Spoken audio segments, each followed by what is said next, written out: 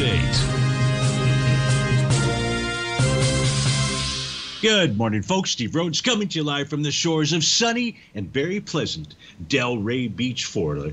This year, 11 a.m. update, and currently got all the U.S. indices that we track trading to the upside. Dow's up 294, S&P 35, Nasdaq 100 139, Russell's up 22, semis 37, trend is up 71. Um, smallest percentage is the trend is up half percent, largest percentage one and three tenths percent, and that's for the Russell.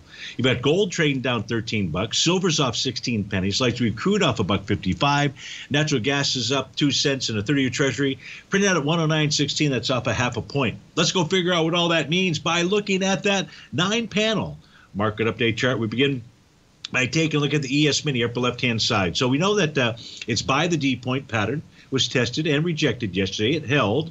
And now you've got a new profile that is forming out here. This new profile will not be confirmed until this evening, but that profile is above price. That's a bearish message as it tells us there is overhead supply.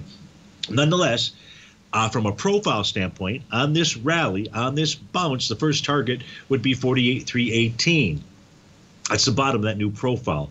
Spot Volatility is trading below yesterday's low. So perhaps this is telling us wants to go target that 50-day exponential moving average at 1708. If in fact that's what is, in fact, if that is what its mission is, we should see higher equity markets. In the case of the NQ, it still retains its TD9 count bottom. Now it has a new profile. It's shifted a couple of times. I expect these will continue to shift during the day, but at present time, you've got support at 14684 and resistance at 14940.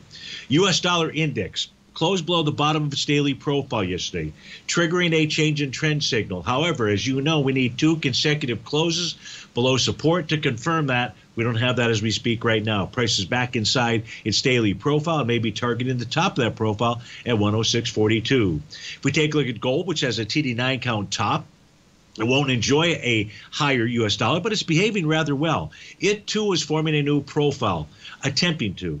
It is a bearish structured profile. And that says if we see a close below 1983.70, and in fact this profile takes hold at day's end, we should see a run down to 1919, 1980. The case of silver doesn't have a top, but it is trading with inside a new profile. It's also trying to form. It has resistance at 23. 30 and support down at 26.53. Light Crude is pulling back into its support structured uh, buy zone. That buy zone is between 81.43 and 83.88. New profile in natural gas as well. Support down there at 325, resistance 338. Folks, stay tuned for the Trader's Edge show. But if you have to start your Tuesday, please have a terrific one. Thanks for joining us. We'll look forward to speaking with you again soon. Take care now.